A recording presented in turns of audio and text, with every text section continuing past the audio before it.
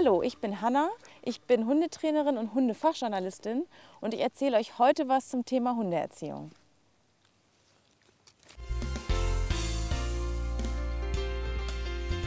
Ich versuche jetzt mal was zu zeigen, was ein häufiges Problem in der Hundeerziehung ist, ein generelles, was sich dann auf viele einzelne Erziehungsfragen niederschlägt. Nämlich die Tatsache, dass Hunde in erster Linie körpersprachlich kommunizieren und Menschen eben digital, das heißt, sie sprechen häufig kommt es dann zu Missverständnissen zwischen Hund und Mensch, weil der Hund achtet in erster Linie auf die Körpersprache und der Mensch spricht und meint, der Hund müsste ihn verstehen. Ein Beispiel ist zum Beispiel das Rückrufen. Das heißt, man ist mit seinem Hund draußen, der schnuppert, spielt, ist mit anderen Hunden beschäftigt und man will gehen und ruft ihn. Dann kommt er nicht beim ersten, beim zweiten. Wenn er spätestens beim dritten nicht kommt, wird man angespannt, wird ärgerlich, ist sauer, ärgert sich über den Hund und wird von der Körperhaltung angespannt. Das heißt, man verkrampft sich, man wird steif, man beugt sich vielleicht vor und bemüht sich aber mit der Stimme freundlich zu klingen, wundert sich dann, warum der Hund entweder gar nicht kommt oder quasi auf den Brustwarzen angeschlichen kommt. Hängt damit zusammen, der Hund wertet nicht das, was ich ausspreche, sondern was ich körpersprachlich aussende.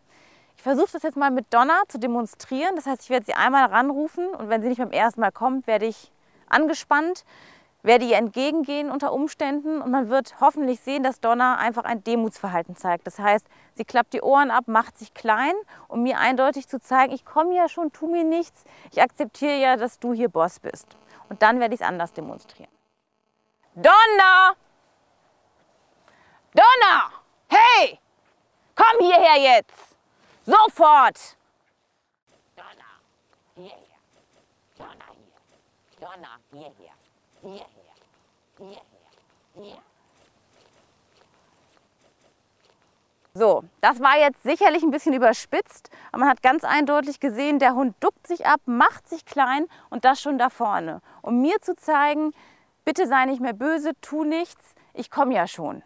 Aber auch wenn ich rufen würde, Donna, komm her und würde hier so stehen, dann würde sie genau das gleiche Verhalten zeigen, weil sie merkt, das, was ich sage, ist nicht das, was ich körpersprachlich ausdrücke.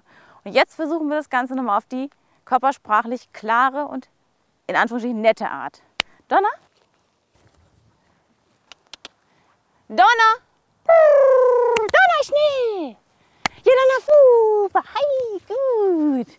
Jetzt haben wir gesehen, Donna ist gekommen, freudig, kein Stück geduckt und völlig entspannt. Aus dem einfachen Grund, ich habe ihr körpersprachlich gezeigt, dass auch ich mich freue, locker und entspannt bin. Und so hat Donna auf mich reagiert. So soll es sein.